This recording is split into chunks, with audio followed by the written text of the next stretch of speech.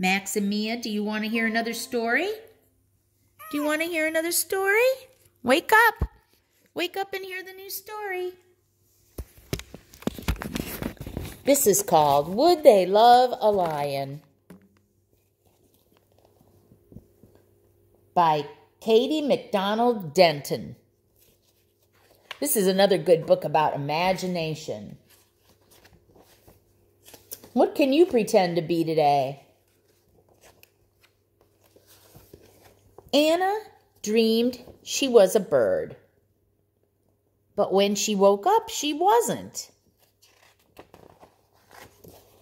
I could be a bird, said Anna. I could be. And she flapped her wings.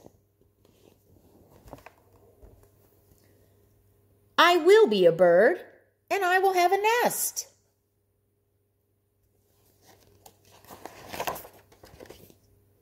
A nest is too small, said Anna. I want a cave. A big cave. A bear's cave. I'll be a bear.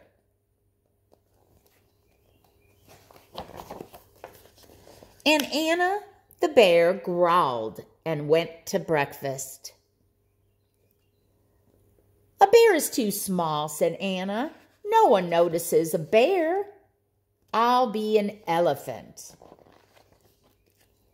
And Anna the elephant went outside and thumped and swung her trunk. But that isn't enough, said Anna. I want to make the world shake. I need to be bigger, really big, the biggest of all. I'll be huge.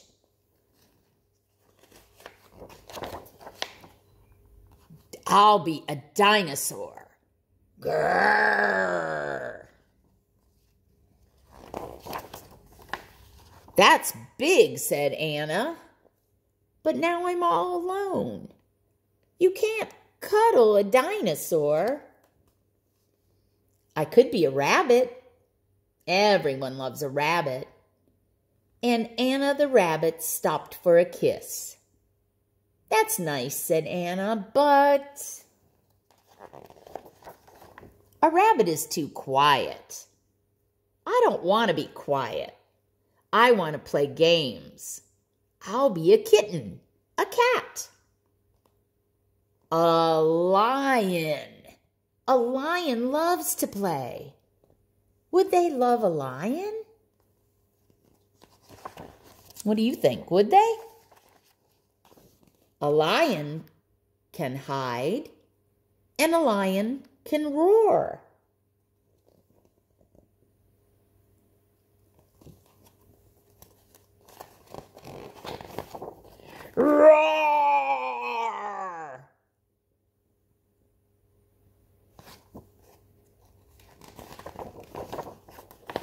Lions stalk Lions pounce, lions eat fast, and lions run fast.